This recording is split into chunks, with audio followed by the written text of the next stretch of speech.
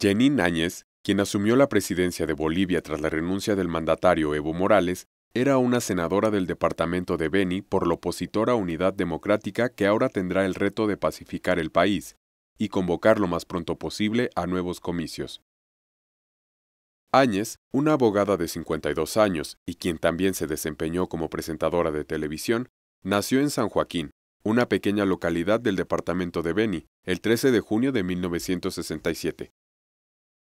Entre 2006 y 2008, la política opositora trabajó en la Asamblea Constituyente encargada de elaborar una nueva Carta Magna para Bolivia y posteriormente participó en la Comisión de Organización y Estructura del nuevo Estado, trabajando también en la parte correspondiente al Poder Judicial. Áñez, quien se define en su cuenta de Twitter como demócrata, autonomista, madre, defensora de la libertad y la democracia, contendió en las elecciones de 2015 bajo las siglas de Demócratas,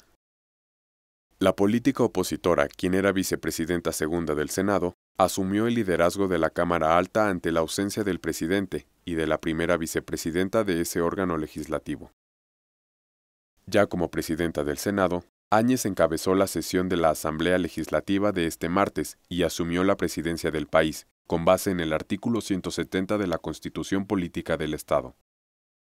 Tras el acto, Áñez se trasladó al Palacio Quemado, donde llamó a la unidad y pidió un minuto de silencio por los bolivianos caídos en este proceso. Áñez tendrá ahora la tarea de convocar lo más pronto posible a nuevos comicios y de pacificar el país, luego de tres semanas de conflicto ante las denuncias de fraude en las elecciones del pasado 20 de octubre, en las que fue declarado ganador Evo Morales, quien renunció el domingo pasado a su cargo y se asiló en México.